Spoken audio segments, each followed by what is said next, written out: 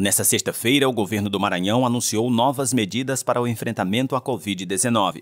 Antes, porém, o governador Flávio Dino também lembrou que o estado ainda conta com 21 mil novos casos ativos da Covid. Portanto, a primeira mensagem é esta: a pandemia não acabou, infelizmente, e não temos cenário imediato de erradicação do coronavírus, nem no Maranhão, nem no Brasil, nem praticamente nenhuma nação do mundo. Algumas poucas nações, com o avanço da vacinação, conseguiram é, ter este êxito. O Maranhão e outros 12 estados estão com tendência de queda no registro de mortes.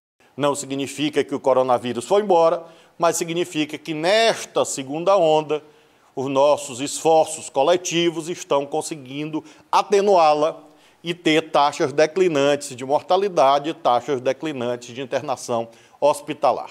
As medidas sanitárias foram prorrogadas até dia 24 de maio. Eventos com até 100 pessoas estão autorizados a partir do dia 17 de maio.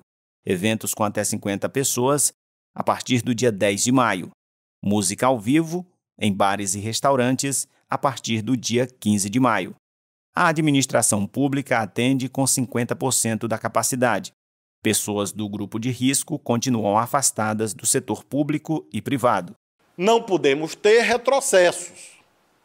E para isso precisamos do esforço do empresariado em cada estabelecimento.